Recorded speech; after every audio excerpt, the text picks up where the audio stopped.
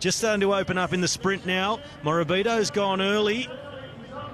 Chris Harper uh, got himself caught in, in back in fourth position as Manuele Boaro, the Italian Oh. from Astana, who's going to come through and take this one very clearly. Guys in a hurry to go home and make the pasta. Well done, Manuel.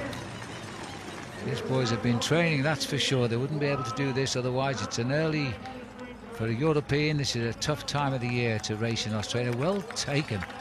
Might be in the wrong sport there. That was a good catch.